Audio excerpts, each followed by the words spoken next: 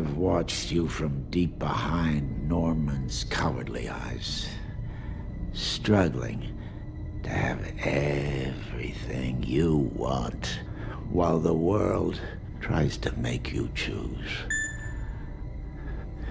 Gods don't have to choose. We take.